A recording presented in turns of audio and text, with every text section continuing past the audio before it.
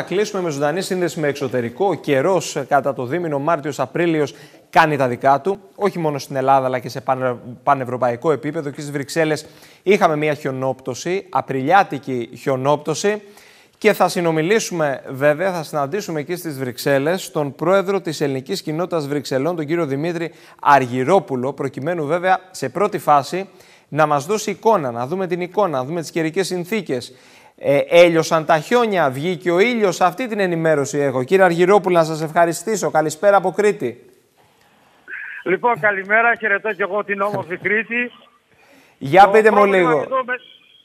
Το πρόβλημα εδώ με τα χιόνια είναι ότι μέσα στην ίδια μέρα χιόνισε και έλειωσαν τέσσερις φορές. Αυτή τη στιγμή έχουμε, όπως βλέπετε, ήλιο. Μάλιστα. Σε, σε ποιο σημείο βρίσκεστε; Βρίσκομαι στην κεντρική πλατεία του ΖΕΤ που λέγεται το Μιρουάρ, δηλαδή το, ο καθρέφτης του ΖΕΤ. Αυτή εδώ είναι μια πλατεία που συνήθως τις Κυριακές αλλά και τις άλλες ημέρες όταν δεν είχε το πρόβλημα ναι. ήταν γεμάτη κόσμο. Θα δείτε εδώ τα καθίσματα πως είναι φτιαγμένα εδώ μπροστά. Βλέπετε.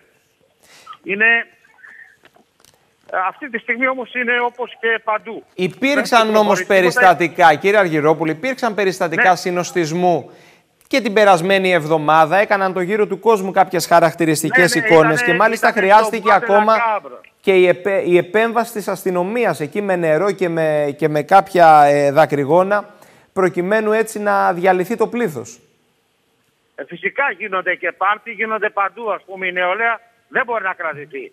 Αν και εδώ στο Βέλγιο έχουμε ελευθερία κινήσεων, μπορούμε να πάμε όπου θέλουμε χωρίς χαρτί, χωρίς ε, νούμερα όπως έχετε στην Ελλάδα, αλλά είναι τα καταστήματα όλα, ό,τι βρεις έξω είναι κλειστά, μέχρι και όταν θα πας κάπου πρέπει να πάρεις τον καφέ από το σπίτι. Και η εστίαση κλειστή λοιπόν. Βεβαίως είναι, η εστίαση είναι κλειστή. Εκτός από ορισμένα μαγαζιά που είναι αυτά τα κιόσκια, τα οποία μπορεί να περιμένεις όπως θα δείτε στο βάθος της πλατείας υπάρχει ένα τέτοιο κιόσκι το οποίο πουλάει τις περίφημες φρίτες των Βρυξελών. Δηλαδή τις σκαντιτές πατάτες. Μάλιστα. Εκεί άνοιξη πότε καταλαβαίνετε, εκεί στο, στην περιοχή που είστε; Ο, δεν, κοίταξτε, δεν έχει πρόβλημα. Τα πάρκα μπορεί να τα κυκλοφορήσεις. Δεν, ε, και, τα, και ορισμένα μαγαζιά είναι ανοιχτά. Όπως βλέπετε εδώ στην πλατεία, γι' αυτό και ήρθα εδώ. Ναι. Είναι, η νεολαία είναι ελεύθερη να πέσει, να φτιάχνει. Αρκεί να φοράει τη μάσκα, είναι νορμάλ. Μα εκεί τώρα η κοινότητα των Ελλήνων φαντάζομαι δεν μπορεί να οργανώσει και πολλά πράγματα μέσα στην πανδημία, έτσι δεν είναι; Τίποτα, όχι πολλά πράγματα, έτσι. Ακόμη και τον κόσμο που θα δεχτούμε για κάποια εξυπηρέτηση πρέπει να γίνει και αυτή με, με ραντεβού.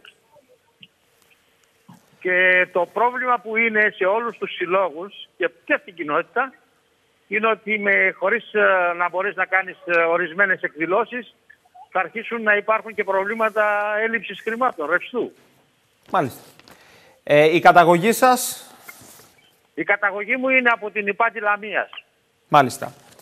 Κύριε είναι, μια, είναι ένα χωριό το οποίο έπρεπε όλοι να γνωρίζουν, γιατί είναι από την τον κατακλυσμό του Δευκαλίωνα ήταν το μέρος που πήρε ο γιος του Έλληνας, ενώ το, την κάτω τη θωρέα την πήρε ο, ο άλλος γιος του, ο Αμφικτίων. Μάλιστα. Κύριε Αργυρόπουλε, να σας ευχαριστήσω πολύ τους χαιρετισμούς μας από Κρήτη. Και εγώ από Βρυξέλλες και ελπίζω να έχουμε την ευκαιρία να επισκεφτούμε την Κρήτη το καλοκαίρι. Βέβαια, βέβαια και να τα ξαναπούμε και τηλεοπτικά. Να είστε καλά. Λοιπόν, γεια σας. Σας ευχαριστώ πολύ.